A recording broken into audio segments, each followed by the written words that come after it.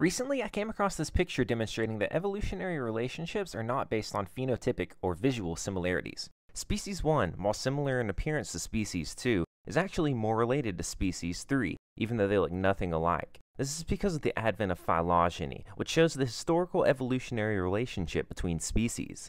These relationships are based on when the species diverged or branched off from each other.